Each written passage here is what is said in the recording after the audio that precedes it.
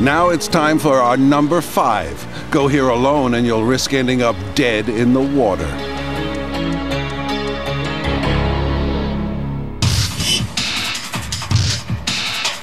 You're kayaking solo in the Colorado Rockies when a distant hum explodes into a deafening roar. Your heart quickens as you head straight for the rapids. The violent currents plunge you into crashing waterfalls and boiling eddies. You're caught in a cauldron, one of the toughest stretches of Class 5 whitewater in the country. It's Mother Nature's deadly challenge, the Crystal River Gorge.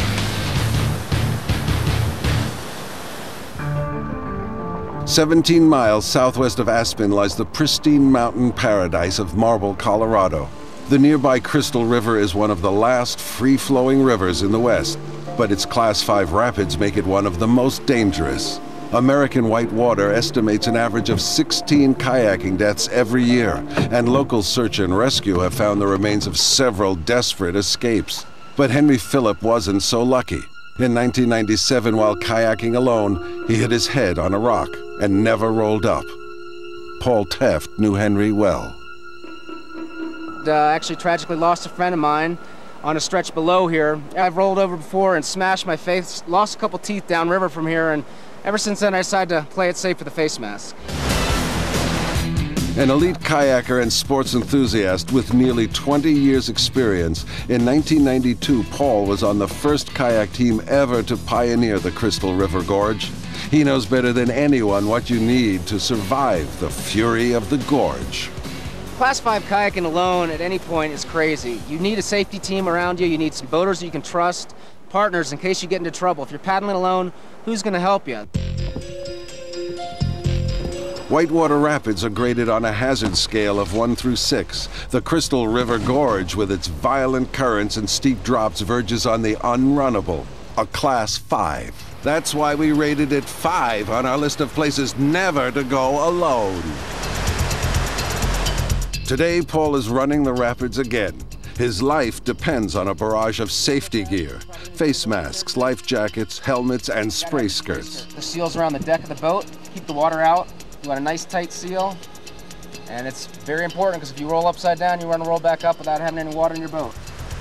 The inner gorge is surrounded by cliffs, and if the situation gets dicey, the only way out is straight up.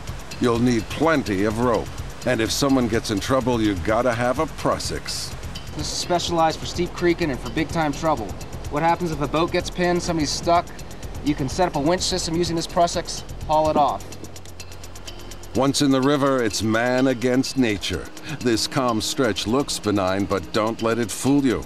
Just downstream, there's all sorts of trouble. Ahead is Pine Tree Falls, where a tree fell across the river and formed a waterfall. That starts a series of drops and some serious problems. A kayak half submerged is an eerie reminder of the price someone paid.